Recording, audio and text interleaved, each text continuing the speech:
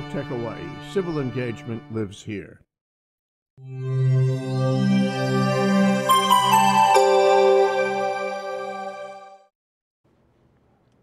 Hello, welcome to Kwok Talk. I'm Crystal here. So, on sensitive women's issues or sensitive gender issues, can't get much more sensitive than today's topic. We're talking about transgenderism, and because it's become such a huge political issue out there, we need to talk about this. And there's a supporting film that's just made in Tonga that has all these issues unraveled, and we really need to kind of um, engage in this conversation to talk about how we can understand more and be a little more respectful and figure out how we can do things to uh, support their um, campaign. And, and just to understand people as people. So on that note, I'm going to introduce two people, guests, who are part of the production of Leitis in Waitings, which is a film in Tonga. Now, let me introduce my two guests. My first one is the co-producer and co-director of Leitis in Waiting, Joe Wilson. Joe Wilson, welcome. Thank you very much, Crystal. It's great to be here.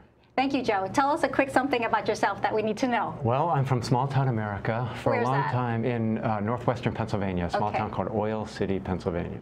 Oil City, no Oil kidding. City. Okay. Yeah, no kidding. Yeah. Yeah. And I got into filmmaking um, just by chance. So um, I was living and working in Washington, D.C. for 20 years, focusing on human rights advocacy and grant making, et cetera, when an issue of bullying arose in the small town that I come from. And my partner, Dean Hamer, and I um, were drawn into that story and decided to, the best way that we could help is to help tell that story so people could come to understand this on a personal level and think about how we work for change in the context of small town America. Yeah, I mean, as much as it's small town, I think our other guest who here I'm going to introduce soon is, you know, bullying is not a foreign subject. I'm sure growing up in Tonga, uh, a very, I would say, masculine. Um, place. Uh, if you beg to differ, I would love to hear. Um, let's introduce the star of Leitis in Waiting, who is an advocate. Um, actually, the the uh, co-founder of the Pacific. What is it called? Sorry, Pacific. Sexual gender Sexual and gender diversity. Sorry, Joey, Joel, Joleen Mataele. Welcome.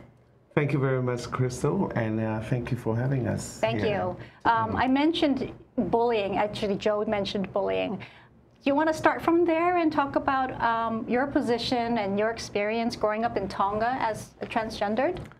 Well, um, bullying in Tonga uh, was something that was never mentioned, you know. And as you grow up, um, they thought in, in in the culture that I grew up in, they, I think they thought that bullying was just something that is used to teach your children how to behave, you know. And, um, and sometimes they don't realize that it actually ruins someone's life, you know.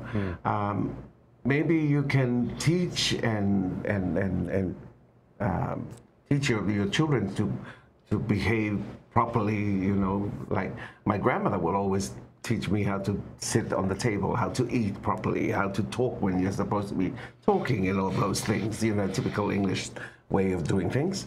But um, but when you go out out of your comfort zone from your from home to school and your other relatives, and because of your gender, that's when the other bullying, you know, that nobody notices. They all think that it's a good thing. Like when my brother um, had to, uh, had to um, force me to speak in a man's voice and act like a man and all that. That was the bullying that hurts me personally. From people, You from know. loved ones. Yes. Yes. And they didn't realize that, that it was actually Right. Mm-hmm. ruining my life at the same time. What age do you think that um, your family, of, I don't want to say officially, but when did they really kind of acknowledge that you are, your identity is what you are, and how they had to kind of approach it from a different way and accept you for who you are? I think um, it came in a later year, but uh, when I grew up, i my I was the way I am. Because on my first birthday I had a Ken dress and you know corsage and, And my hair was in ringlets and all that, you know, and um, and everybody knew that there was something different about me, you know, even my grandmother who raised me. But until I, I grew up a bit older, when I when I started wearing a dress, you know, um, when I was 14 years old to, to church, that's when everything started banging. That's quite the- bold of you, yeah, at 14 to do that.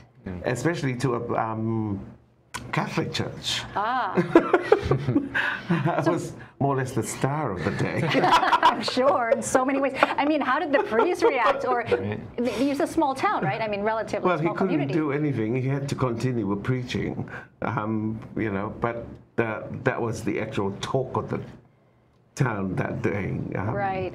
But my, I was taking my grandmother to where she always sits at, at the church. And then I, then I just sit next to her, and nobody said anything, you know. But but of course, behind. after a bit, Yeah. you know, Yeah. we're like, That's that's the problem all over the world. Now, uh, to take it on to a bigger cultural context, do you think these issues are uh, similar in different places? I mean, what are the similarities, and why your film actually is applicable to a lot of other places who are experiencing the same kind of issues? I, I think so. I mean, just briefly, what the film is about Yes. is um, what it is like to be transgender, or any kind of gender or sexual minority uh, in a in a community Yeah. anywhere, really. But through Joleen's experience, who was the you know, based on her pioneering efforts to raise visibility, just based on who she is. Um, she was one of the co-founders of the Tonga Leitis Association, which is a community group that came together to provide support to young people who were being kicked out of their homes, bullied and abused by family and other Right. people in society. So the film really follows a year in the life of Joleen and several other ladies in the community there, just to show what it's like. And ultimately, something really important happened during the year that we were filming that that took their advocacy work to a whole nother level. What happened? Well, it started in 1992, but the thought of starting the, the, uh, the association started from 1987 when our first AIDS person came to Tonga, was brought by the family to die in Tonga. And then after that, just because that person was uh, uh, a gay or trans person, then they started calling us names. Instead of calling our, our proper names, um, they started calling us AIDS. You know, you walk down the road and everybody would just turn around and say, hey, hey, Dizzy, or in, hey, AIDS, you know. Ah. And that's how everything started. So hmm. we had to, when we formed the, the association, it was to not only just to challenge the people, to, but to actually taught and um, the HIV awareness to all our community, our trans, our LGBT community, and of course to educate the people that it, we are not the cause of of the uh, di- this disease, and for the you know we had to fight for the rights of our our trans community that Sure. were at the forefront of doing the work. So something in you kind of just motivated you to have to do something about this. Yes. Yeah. I was always a fighter, even though I had uh, the abuse and the, you know the stigma and discrimination when I was a kid. You know, but I was always I was always standing up to fight, fight back. You know, I was not much of a swearing person. You know, someone would tell me I'd say the f word and all those things back. You know, someone uh, I don't do that. I fight. I get up and fight. Good. You know, I, I and I'm talking about fist fight. I'm glad you clarified that. I thought you were going to say I'll fight with my words. I don't, I don't, I don't waste time talking words and all that. Okay, get over here. But this is really a common story that um, you know communities everywhere that are under attack, LGBT communities in particular Yes. in the U.S., Tonga, wherever, have had to rally together to Mm-hmm. protect themselves, to advocate for themselves, to provide services in cases when you know in the mm-hmm. 80s and 90s when HIV and AIDS was ravaging our Yes. communities. Hospitals, healthcare providers weren't weren't treating us, mm-hmm. et cetera. So the Tonga Leitis Association is a great example of how do we rally to support, protect our own community, and then, as mm-hmm. Joleen was talking about, eventually, how are we going to advocate for ourselves? Because we need to address you know, Right. protections, rights, access to education, all of these things that everybody else takes for granted. It seems like you're on a very strong path because you got the support from the the royalty, right? Can you want to talk a little bit about the how you even your first premiere was for? the royal family? So Jolene is probably too modest and humble to Yeah, say. please but, um, share it. So she, one of the reasons she's such an important pioneer in this work in Tonga is because she grew up in a pro- relatively prominent family in Tonga. Her father was a parliamentarian. Her mother was a very um, loved and respected musician. Ah, Um, ah, and together, the singer in you and the political activist in you right. was already so she grew there. up in quite an, uh, you know, an amazing environment. Um, her family was um, friends with the royal family and close friends with Queen Salote, one of the most beloved, you know, figures in the We have a photo, I believe, with you and the. Uh, That's, uh, tell me who that is. That's the Princess Royal.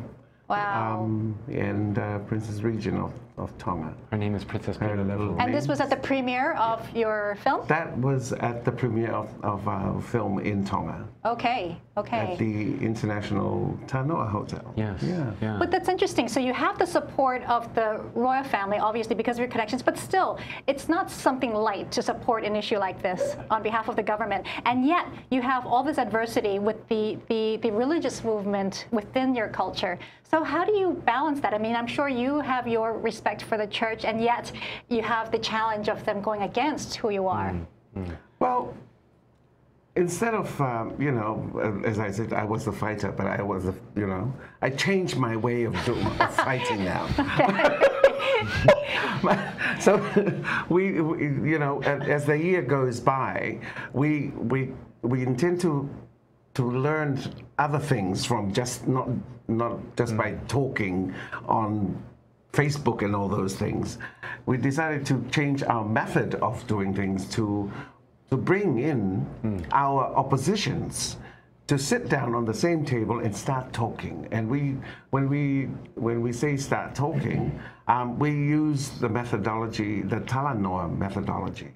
And the Tala means telling, hmm. and noa means someone says deaf, hmm. who sit there and listen.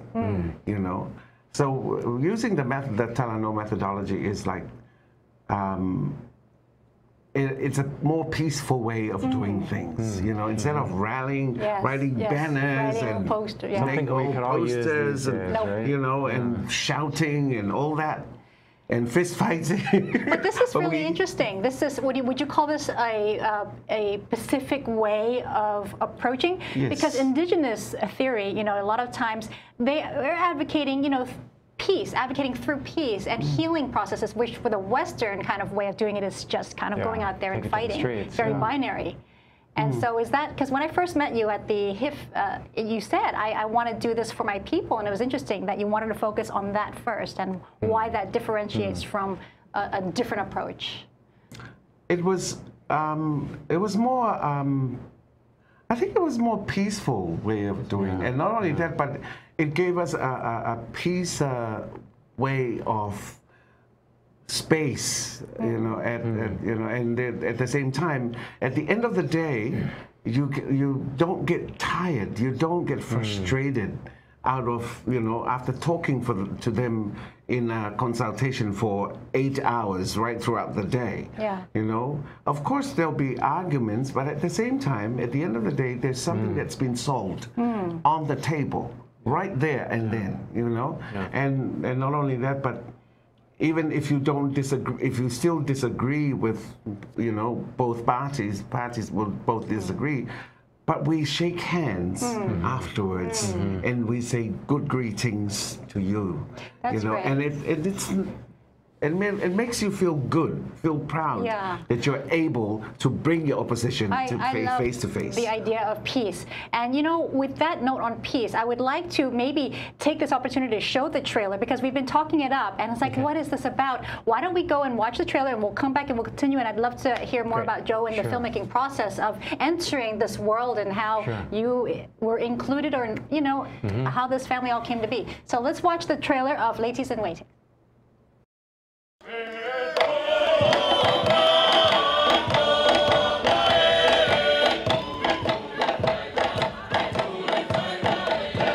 Tonga is the last remaining kingdom in the Pacific, and we're very proud of, of who we are.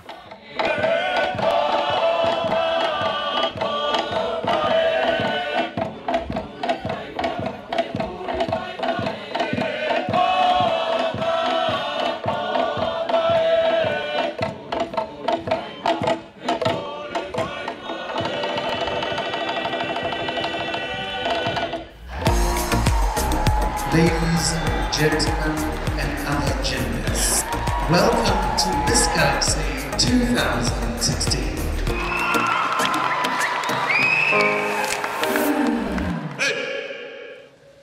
enge mamata hebe afakaloloma boboni oma heshima ngata ya ukifoha ukufare ti Joey Mataele is a man. Even if he changed the way he dresses, even if he changed the way he speaks. When you behold the word of God They should be arrested because it's illegal here in Tonga. One of my eldest brothers put a rope on my neck and pull it to try and get me to speak in, in a man's voice. It got to the point that I almost took my life away. my brother told me how many year now you were joining the pageant how many year now you joining together with the Tonga Leitis Association you should change now We're known as chefs, decorators, do the dirty errands, clean up the house, help the mothers. kono uhinga ia e mau koe ke ke tari a sisu ke tu usi ai whakamala ia koe And they don't know that it's hurt, right? Because of the feeling like I'm a lady I have to stand and tell the people who am I I will never bend my life to anyone's policy. I will be somebody.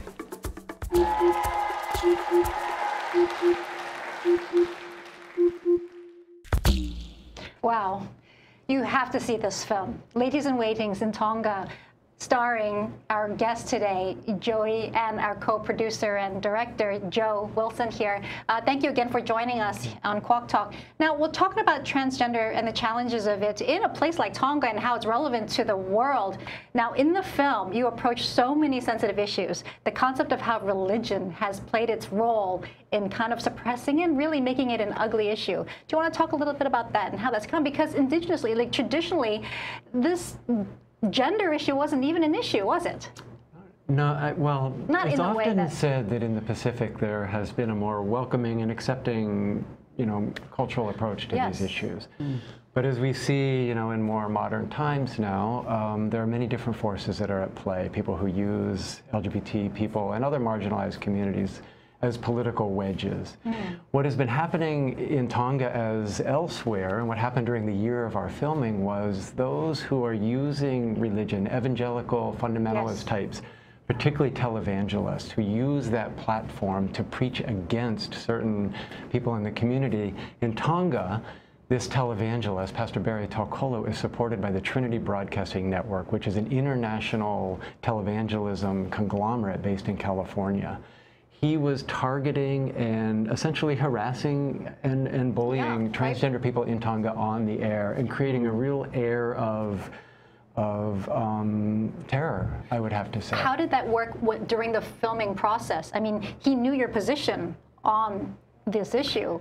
So why this was essential during the year we were filming is uh, Joleen and the Tonga Leitis Association for years had had an annual event called the Miss Galaxy pageant, Yes. which is a big community event love it. that raised money for their work and also served as a way to entertain the community, but also to advocate and educate people. Right. But during the year that we were filming, this uh, right-wing religious agitation was getting so extreme that Joey and her colleagues decided to cancel the annual Miss Galaxy pageant and hold.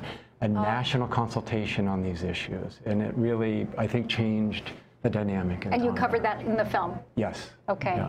right. Yeah. Um, Joe, I wanted to ask you as a filmmaker, um, going into a culture that's not your own and in a very close-knit community, how, how did that affect, I mean, how, how did you work together or how did the community uh, embrace Joe and Dean?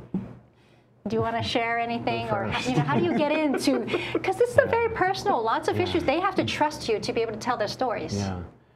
Well, we were introduced to Joleen and her colleagues by a close mutual friend of ours, Kumuhina Lemoana Oh, of Wankalua, who we made a film about here in wonderful Hawaii. yes. And I think it was initially that introduction which, Mm. you know, created opportunities for us to get to know each other. And then, you know, for Dean and I, our style is we're just two people with cameras that try to you know, gain that kind of trust that allows the people who are inviting us into their lives and their homes to, you know, to tell their stories to just allow us to be there and to capture their real lives in real time. And your friends and family were hap- comfortable doing that with the cameras in your faces? I think they were. Um, well, at first, but especially when we're dealing with, um, you know, the church leaders. Right. You know, um, uh, one of them would say, "Oh, that we, I got them off guard." You know, they didn't, uh, they weren't sure what it was all about and all that. Um, but then um, it didn't really but because of the relationship that I have with some of these church leaders, it made things a lot easier. Yeah. You know, um, and um, I had I just had to explain to them exactly what the the, the document is all about, mm. you know, a little bit of it, and then I leave the rest for, for Joe and Dean to do the interview. Mm. Mm. Mm-hmm. Um, and I'm I was never there. I was never there during the, all those interviews with the church leaders. Okay. It's really all based on your relationships with Yeah. people. I mean, Joey is a, one of the most highly respected people in Tonga, so that made it easier for us. And you know, we didn't even go to Tonga thinking we're going to make a film. We went to show Kumu Hina. Mm-hmm. But when we met Joleen, and I think when she got to know us a little bit, she said, you know, it's actually been a long dream of mine to um, tell our story so that we can advance our cause. I think if you had the funding and support, I think you should do a feature film on Joleen's story because she, at a meeting at the school, was talking about her life and how she stole a mic while she was uh, working at the custodian. you have so many stories. I mean, it is movie material. I'm serious. Um, you are just drama queen by nature, I guess. But and that's why you have the power. person. Right. But you need that to be Yeah. able to be an activist in a way. You need to have the power to uh, attract attention to proceed True. with this campaign. So, Yeah. with this campaign, what type of impact do you both hope to attain with this film?